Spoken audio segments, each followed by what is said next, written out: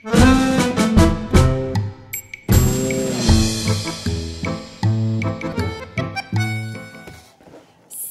привет из около Московья. Так, сейчас. Стоим, боимся.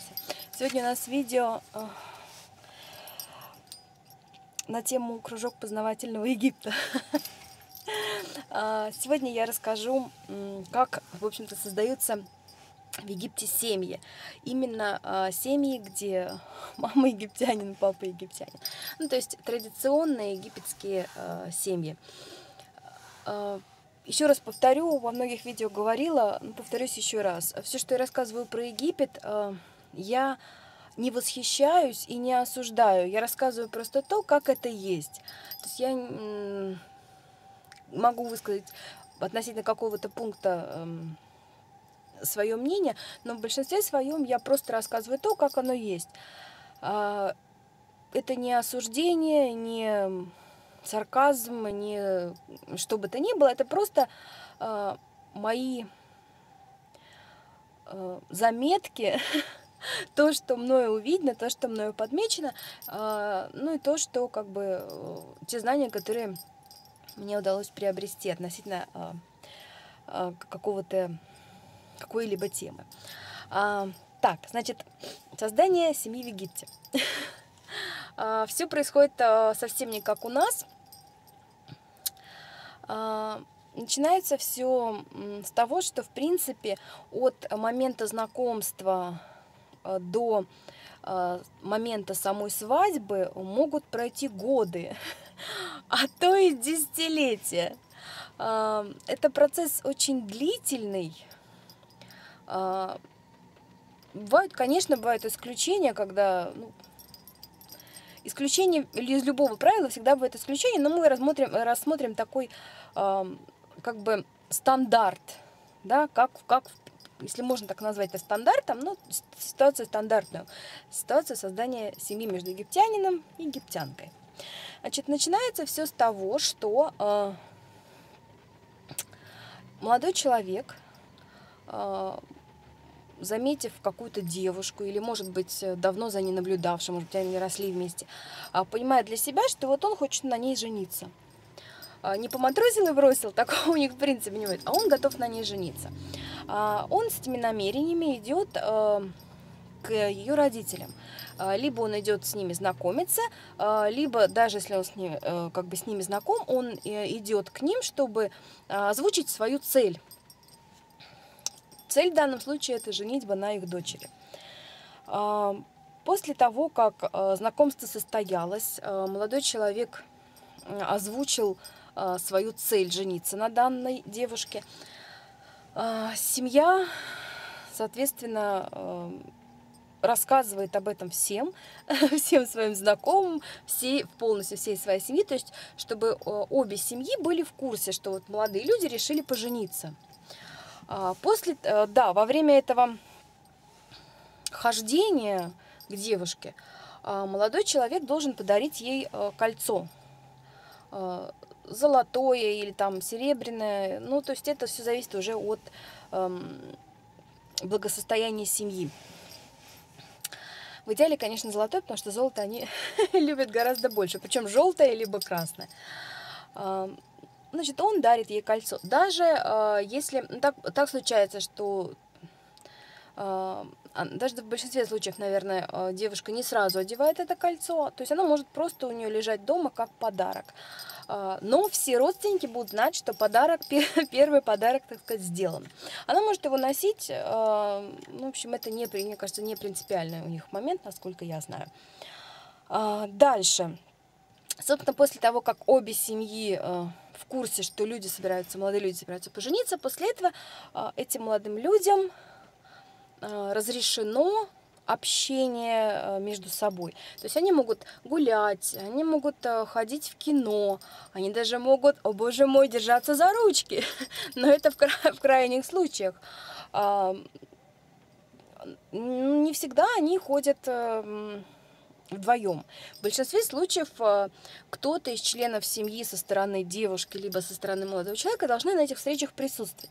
То есть там, а, пойдемте погуляем, там, моя дорогая любимая, пойдем с тобой погуляем в кафе. А, он говорит, да, хорошо, и берет с собой сестричку, там, не знаю, подружку, либо его сестру.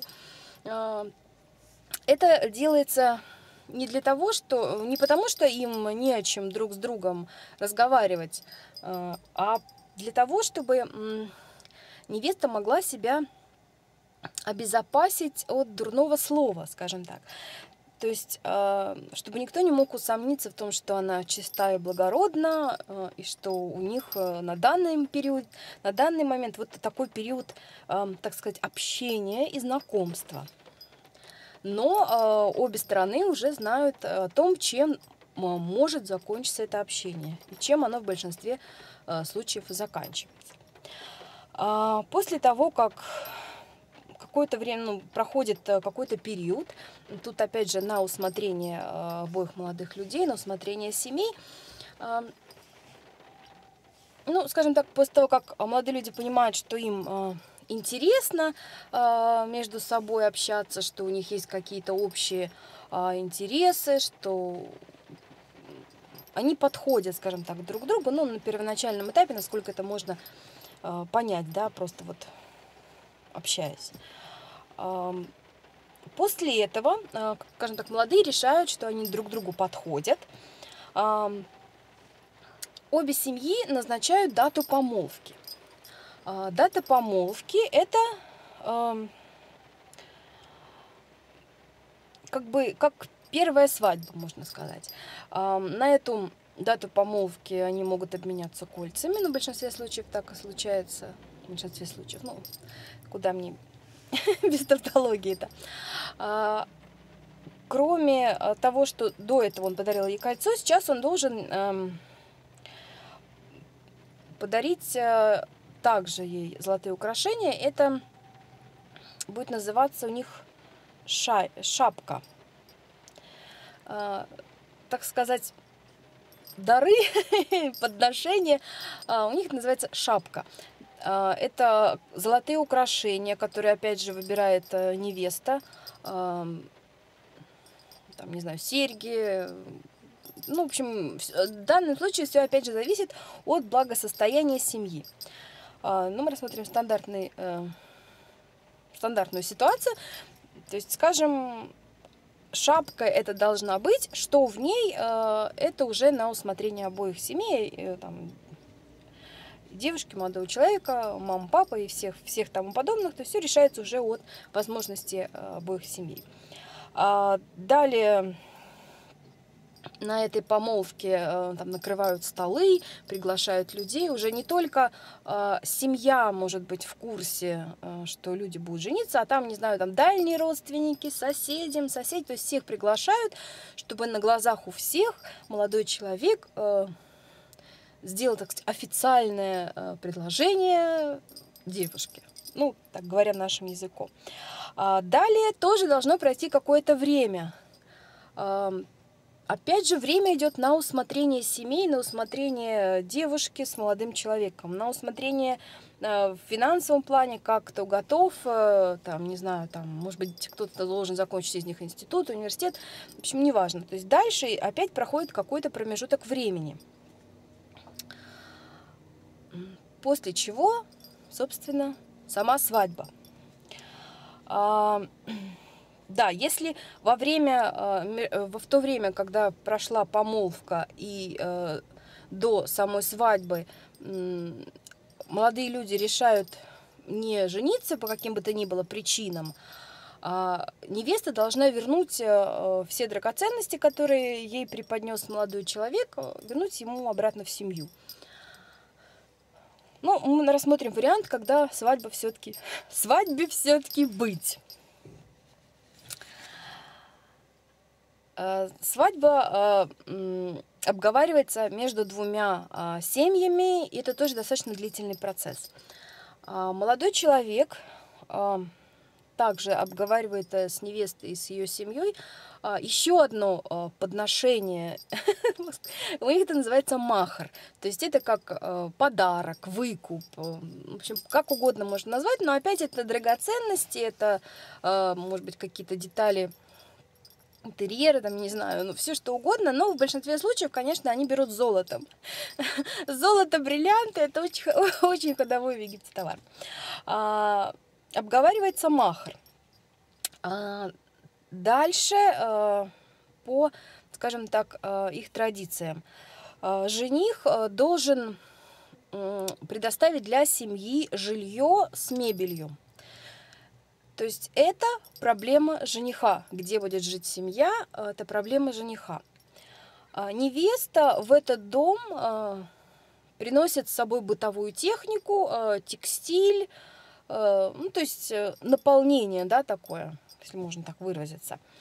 Это вот у них такое обязательное разграничение. Именно, наверное, поэтому вот между процессом помолвки и процессом свадьбы могут пройти годы, пока жених сможет заработать деньги на то, чтобы э, в семье было жилье.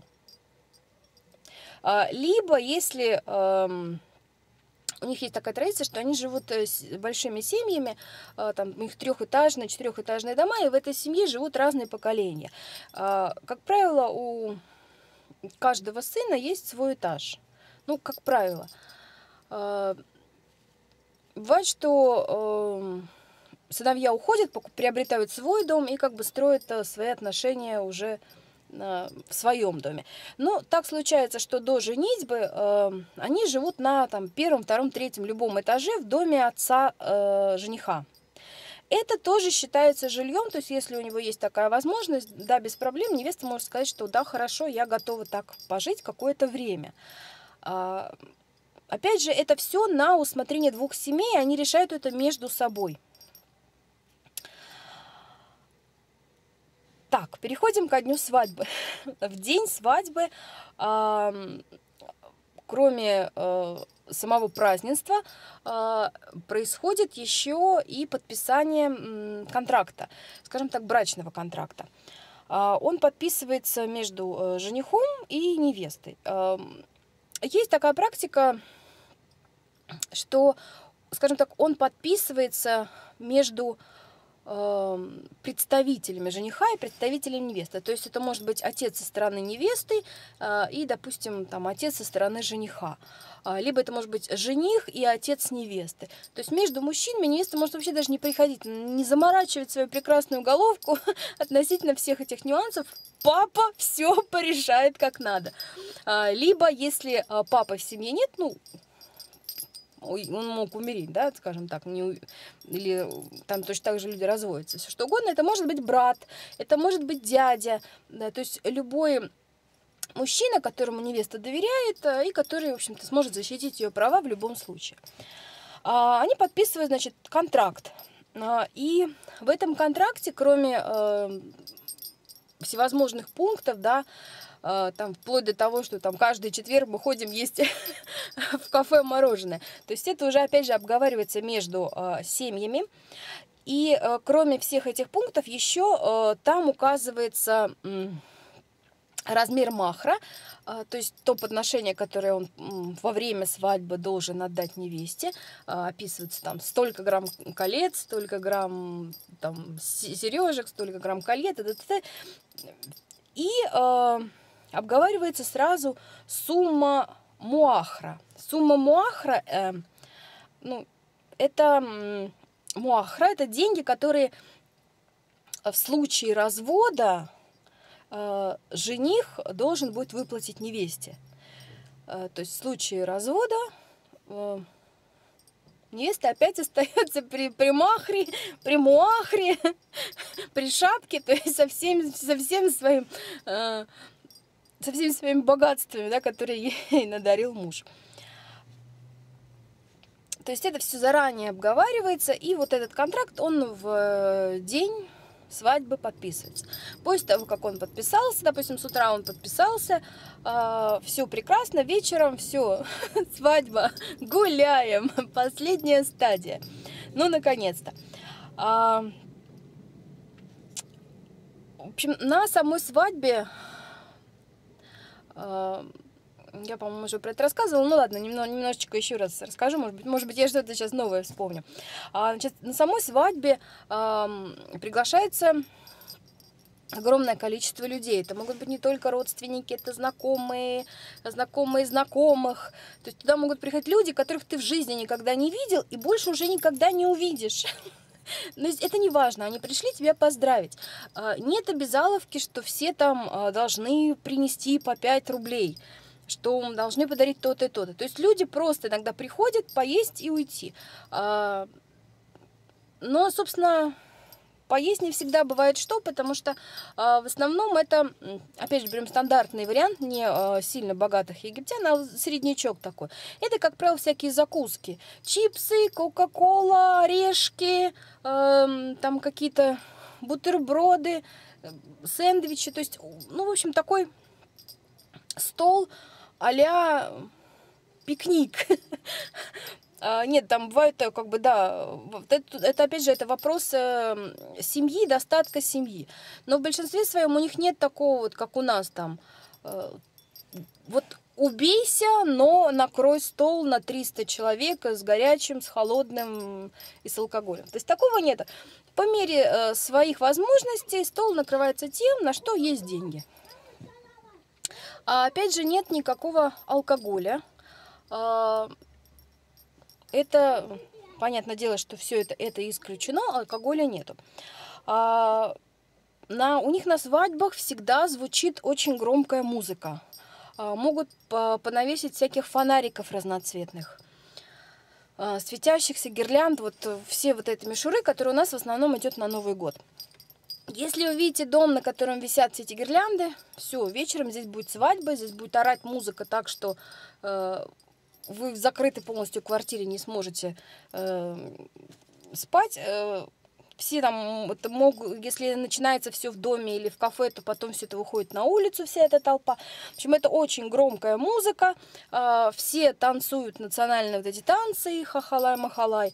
Э, все фотографируются, радуются, знакомятся, угощаются, чем Бог послал. А, веселятся, веселятся и радуются. То есть, а, я уже рассказывала, но еще раз повторюсь, а, невеста и жених сидят на такой импровизированной сцене, и опять же они ну, как бы могут держаться за ручки, никаких там горько, целуемся, тра-та-та, ничего этого нету, это исключено. Невеста как правило, у них очень закрытые платья, то есть это э, и покрытое лицо, и покрытые плечи. И потом уже на вот это покрытие одеваются вот эти вот стандартные, да, платья а баба на горохе. Э, ну, это, наверное, отдельная тема про имидж египтянок. Э, его как-нибудь в следующий раз затрону. В общем, вот такая проходит свадьба. Да, у них нету алкоголя, но э, у них э, кальян, который, как правило, заменяет им алкоголь. К сожалению, бывает так, ну, как бы, да, это запрещено, курить наркотические средства, но что уж тут скрывать, а, молодые люди балуются не алкоголем, как у нас, а, а скорее вот э, наркотической травкой. Ну, к сожалению, такое есть. Это, опять же, это не везде, это не норма, как у нас, э, что у нас обязательно должен быть алкоголь. У них э, нет такой нормы, что обязательно должно быть что-то вот типа наркотиков. Это не обязательно, этого даже это запрещено, э, но, опять же, мы же понимаем, что из любого запрета есть исключение. И, собственно, в их случае исключение это не бутылочка пива и не бутылочка водки, а вот более интересные вещи. А, вот, собственно, таким образом происходит свадьба между египтянкой и египтянином в основном. А, если э, семья нетрадиционная, нетрадиционная в плане, что э, мужчина египтянин, э, девушка из любой другой страны, то а, вообще ничего этого не может не быть, то есть это уже решаются между ними, то есть семьи просто ставятся э, в известность, что вот я встретила любовь в своей жизни, я женюсь. Это уже, э, наверное, отдельная тема. Ее, наверное, не буду затрагивать в этом видео, а то оно получится очень очень-очень длительным, его сложно будет досмотреть до конца. А, вот такая интересная вещь египетской свадьбы, подготовка к египетским свадьбам. Опять же, повторюсь еще раз, что между э, знакомством и свадьбой могут пройти годы, годы, годы, а то и десятилетия.